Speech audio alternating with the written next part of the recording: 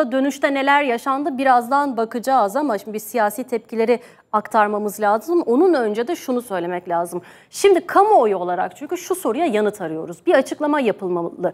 Takımlara Atatürk'süz sahaya çıkın, aman olayı büyütmeyin, kriz olmasın, aramız bozulmasın baskısı yapıldı mı yapılmadı mı? Bunun cevabını bilmek istiyoruz.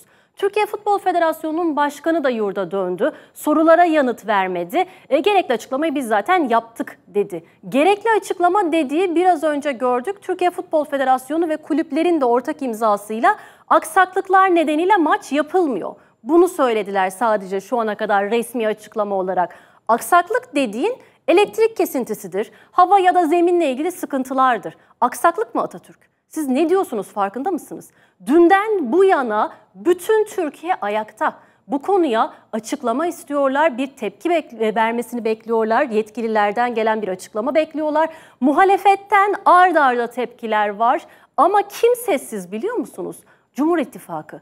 Milli duygularla bu denli ayaktayken bir ulus MHP gibi milliyetçilikle e, kendini adında milliyetçilik olan ve MHP gibi bir parti hiçbir açıklama yapmadı. Bahçeli sessizliğini koruyor. 24 saati geçti.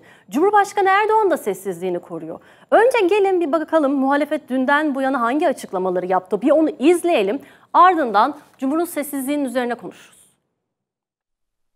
Hiçbir yerde olmaz ama Suudi Arabistan'da kesin olmaz. Bunlar gelince Anıtkabir'e gidiyorlar mı? Gelince İstiklal Marşı'na saygı gösteriyorlar mı? Bunların olduğu yere 100. yılın Süper Kupası gider mi? Bu milletin hassasiyetlerine kimsenin dokunamayacağını milletçe bir kez daha gösterdik. Suudi Arabistan'ın Atatürk'e sansür girişimine ilk ses yükselten muhalefet oldu. En büyük maç 100. yılın son gününde orada olur mu? İşte böyle rezillik olur. Böyle utanmazlık olur.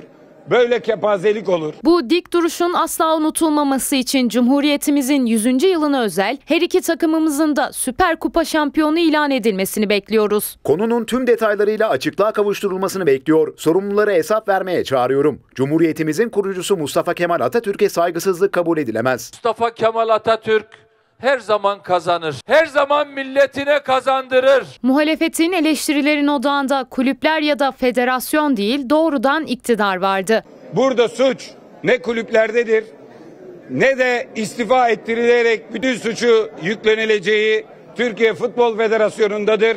Suç her şeyi ben bilirim ben diyen var ya suç Recep Tayyip Erdoğan'dadır. Atatürk'ü Suudi Arabistan'da pazarlık konusu yapan, İstiklal Marşı'nı pazarlık konusu yapan baş suçlu Recep Tayyip Erdoğan'dır. Biz oraya gittik. Niye gittik? Bu sorgulanmalı. Bu gidişin mimarları kim? Hangi akla hizmetle böyle bir süreç tariflediler? Hangi detayları hesaba katmadılar? CHP lideri Özgür Özel sahaya inmeyerek Suudi Arabistan'a res çeken takımlara teşekkür etti. Fenerbahçe ve Galatasaray'a, onlara destek veren Beşiktaş'a ve tüm kulüplere müteşekkiriz. Bu hadsizlere, Suudi Arabistan'daki hadsizlere ve onlara Türkiye'nin en önemli 100. yıl kupasını oraya yollayan hadsizlere hatlerini tüm kulüpler ve taraftarları bildirmiştir. Hepsine teşekkür ediyoruz.